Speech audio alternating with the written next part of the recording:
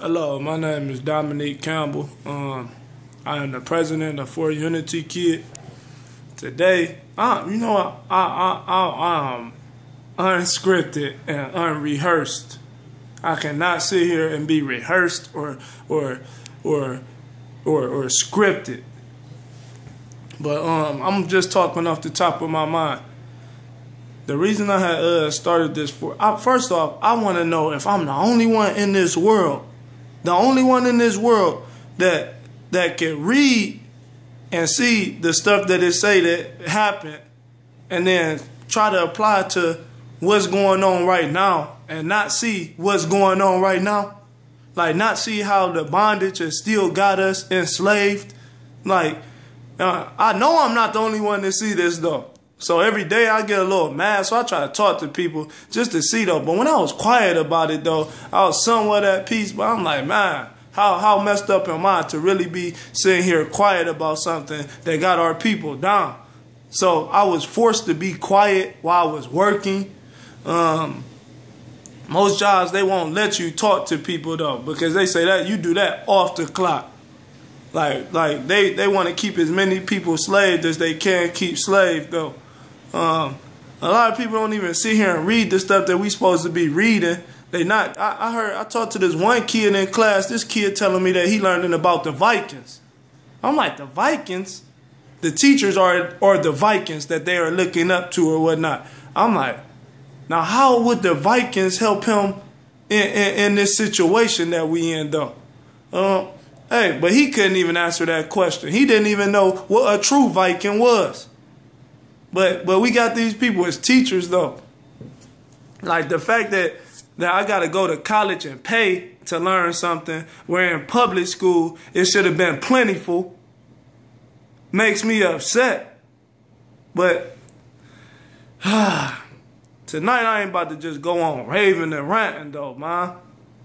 But at the same time, I get so upset that people could read something and try to make their own interpretation of it. That's cool, your own interpretation.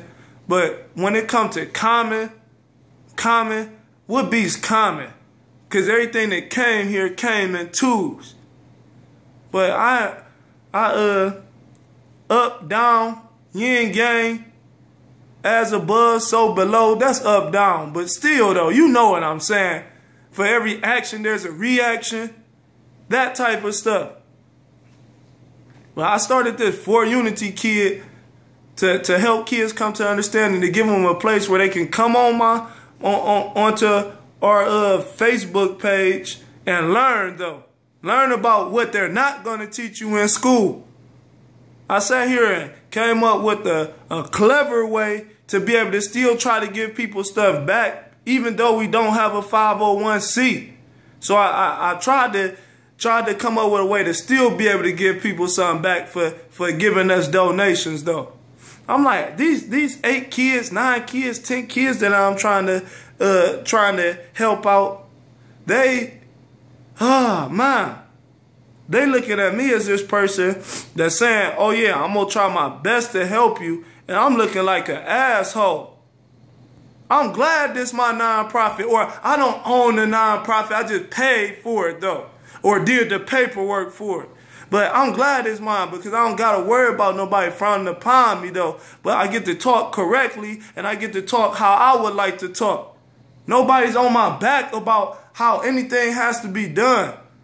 But it, it, it saddens me that we sit here and act like we just ignore the stuff that we must, we, we're supposed to be fixing. We ignore it. Uh, I sat here I uh, attended the Salvation Army. I attended their church. Uh, helped me out a lot. Like I told people, helped me out a lot. But at the same time, I'm sitting there watching from the outside looking in and from the inside looking out. So I seen it from both ways what the problem was, and I was told to be quiet when I understood what the problem was. But hey, I've never been invited to a council meeting. So I'm like, hey, let me think of my own nonprofit to make and help people out the correct way. Like, you shouldn't be coming back to my nonprofit. Uh, like, like you, be you is what I'm saying. Be you. But most people like to progress. So you shouldn't be coming back to my nonprofit. Like I am not making a nonprofit for people to just be stuck on my nonprofit, enslaved to my nonprofit. I'm not trying to do that. I'm trying to make a nonprofit that enhances your mind and you take it and you go to somewhere else with it. Like take it to your village. Go go to your village and do this now.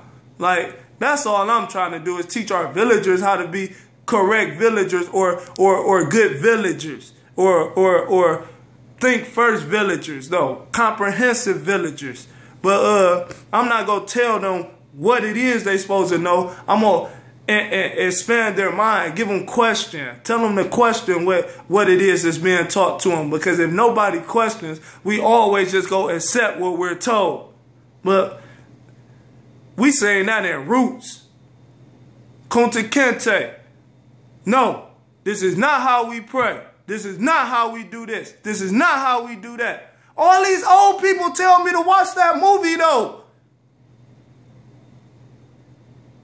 What was the verse, man?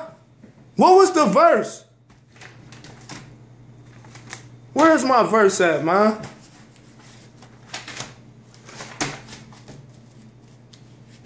For I will give you the mouth and words of wisdom so that your adversary will never be able to come against you.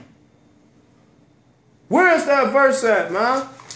But when I started talking, I never talked about God. I never talked about spirituality. But when I started talking about spirituality and asking questions about spirituality, that's when it became a problem. When I finally sat down, calmed down, and chilled, I became a problem. When I started asking questions, I became a problem. I'm like, a problem though.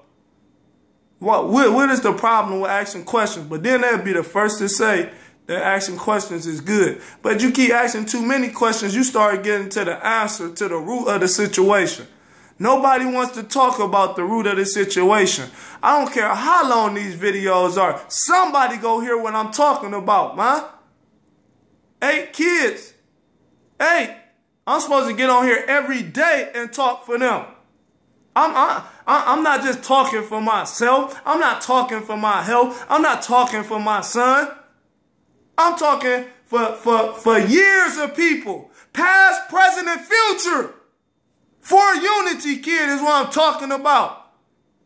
But I come out here and people are quick to talk about how the police destruct us, though. Why was Malcolm killed?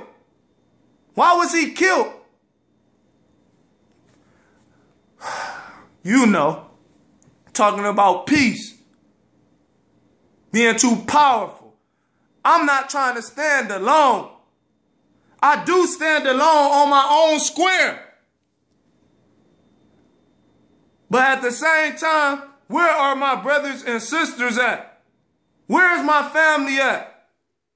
Where are your family at? This all I try to get out of it though. Why, why would my family be separated? That happened during slavery. Why is my family still separated if we're not in slavery?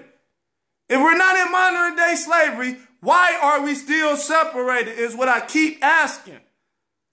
Why is it that everybody can come in the neighborhood and create a store in our neighborhood and then we can't? I'm, just asking. Just questions, man.